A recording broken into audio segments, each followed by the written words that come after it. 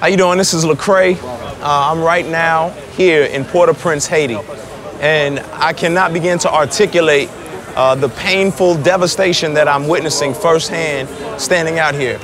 But I'm also greatly encouraged. Um, I'm encouraged at the work the Billy Graham Association is doing, along with Samaritan's Purse. Um, I'm seeing real, tangible needs being met by these organizations. I'm seeing uh, fruit in all actuality, and it encourages my heart.